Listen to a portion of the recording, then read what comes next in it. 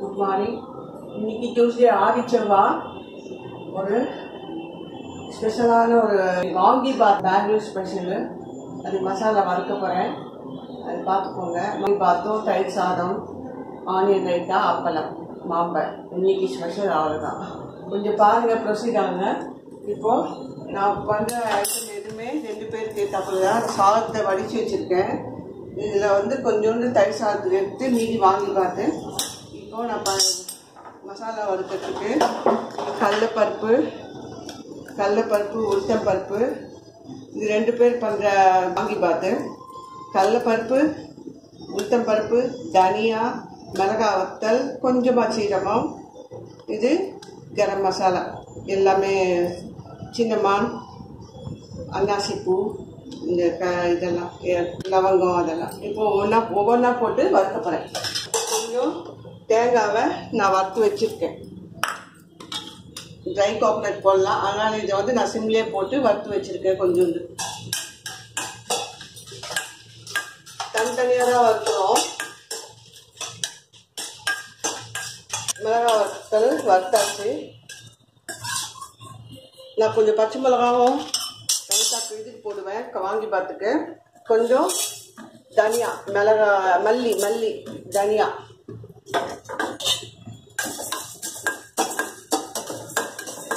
தனித்தனியாக வருங்க வாசனை வரும்.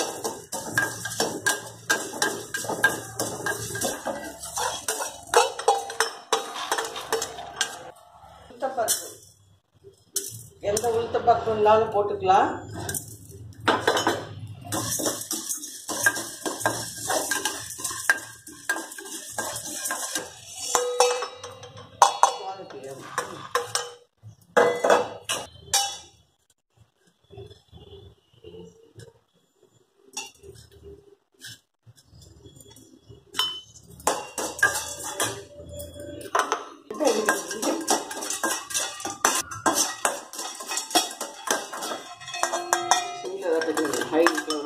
நெக்ஸ்ட்டு கடலைப்பருப்பு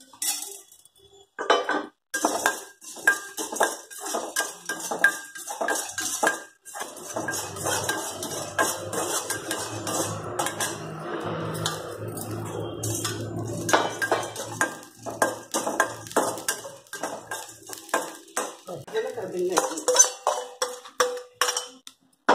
நெக்ஸ்ட் ஒரு ஸ்டெப் வந்து இது பொடி ஆறுன பிறகு பொடி பண்ணணும்.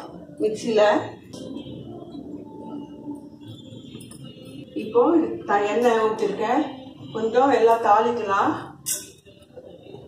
கடுகு முட்டைப்பருப்பு ஜீரகம் எல்லாம் போட்டு கொஞ்சமாக தாளிக்கணும். தாளிச்சிட்டு கட் பண்ணி வச்சுருக்கேன் கருவேப்பிலை போடணும். மிளகாய் போட்டுட்டு இந்த கத்திரிக்காய் கட் பண்ணி பொடியாக கட் பண்ணியிருக்கோம் இதை போட்டு நல்லா வதக்குங்க. ரொம்ப நேரம் ஆகாது இது பண்ணுறதுக்கு கத்திரிக்காய் வதங்கி உப்பு மஞ்சத்தூள் காரம்லாம் போட்ட பிறகு சுருளை வதங்கணும் கத்திரிக்காய். ரெண்டு டம்ளர் ரைஸ் ஒரு ரெண்டு பேருக்கு பண்ணுறதால அதுக்கு தகுந்த போல உப்பு. ரெண்டு பேர். மஞ்சத்தூள் போட்டு வதக்கிட்டே இருங்க. அதுக்குள்ளே மிக்சி ஆறி இருக்கும். அதை பொடி பண்ணிடலாம்.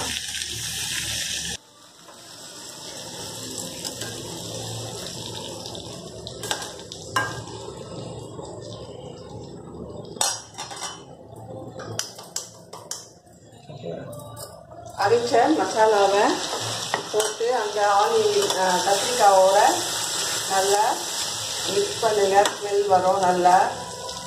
கத்திரிக்காவோட மிக்ஸ் பண்ணுங்கள்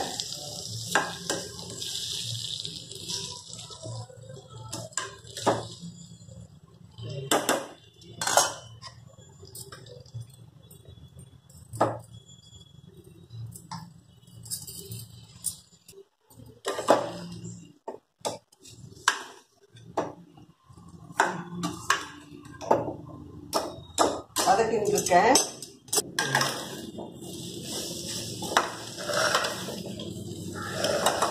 இது வதக்கியிருக்கு. இந்த ரைஸில் இதை போட்டு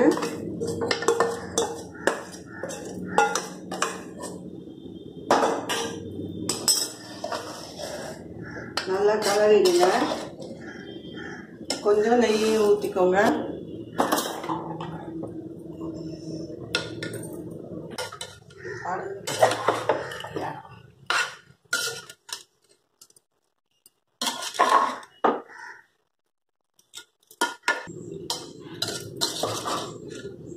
நல்லா வாசனை வருது. ஃப்ரெஷ்ஷாக பண்ண பொடியால் நல்ல ஸ்மெல்லாக இருக்குது இப்போ நான் பாலம் ட்ரான்ஸ்ஃபர் பண்ணுறேன்